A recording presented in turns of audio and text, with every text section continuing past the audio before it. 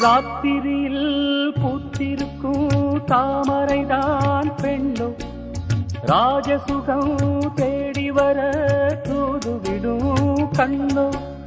சேலை சோலையே பருவ